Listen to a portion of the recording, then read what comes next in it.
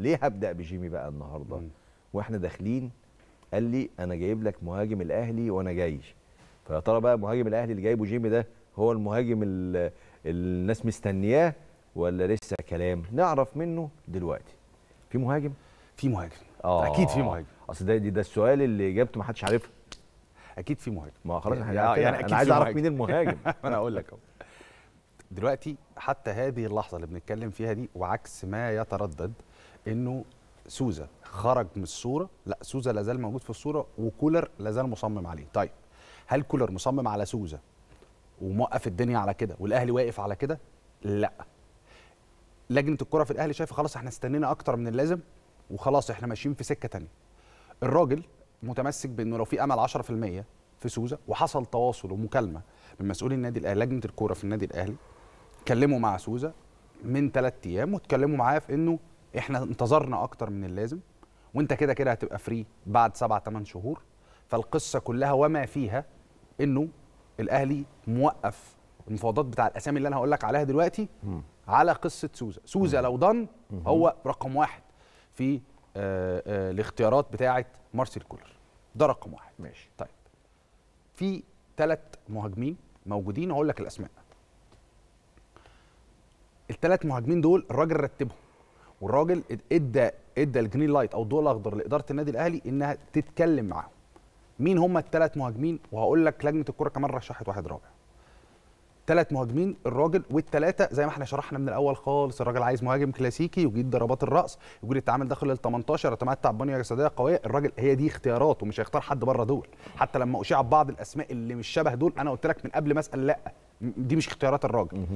فمحمد كوناتيه ده مهاجم احمد جروزني فريق في الدوري الروسي ولا زال فريق متمسك بيه. هو المهاجم الأساسي بتاعهم ده المهاجم رقم واحد. إيكوبا إيكوبا مهاجم نيجيري أمريكي بيلعب في الدوري المجري وفريقه هبط بالمناسبة. هو هداف فرقته ورابع هداف الدوري المجري الموسم الماضي 11 جول آه، 194 سم وده معانا لقطات ليه هن- هنعرضها بعد شوية.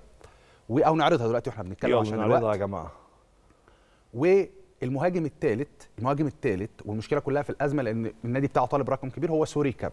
دول الثلاث أسماء اللي الراجل ادى عليهم green light الثلاثه ادى عليهم قال لهم خلاص أي حد من الثلاثه ما عنديش مشكلة.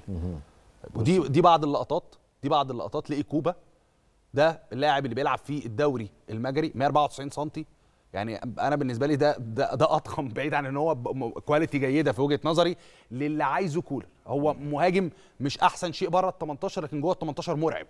قوي جدا بياخد اللعيب رقم 12 عشان الناس تتابع معانا في اللقطات اللي شغالة. اللعيب رقم 12 أي لقطة فيها اللعيب رقم 12 هو ده اللعيب اللي إحنا بنتكلم عليه. لعيب كورته تاني مش أحسن شيء لكنه مش سيء بره ال 18 لكنه مهاجم قوي جدا يا كريم جوه ال 18 خاصة في ضربات الرأس.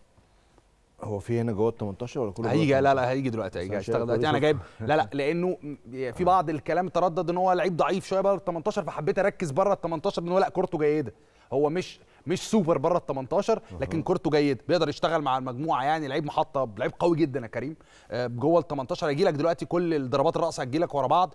الراجل الراجل ما بص بص في الكورة دي هو الراجل الراجل ماسكه. يعني هو الراجل ماسكه وحضنه وشده من التيشيرت وعمل كل حاجة يعني. لعيب مميز جدا جدا في ضربات الرأس. زي ما قلت لك فرقته رغم إن الدنيا كانت صعبة جدا وفرقته مش أفضل شيء لأنه رابع هدافين الدوري هناك وجاب 11 جول. آه، آه، هو طبقا لمواصفات كولر. الراجل ده مثالي جدا.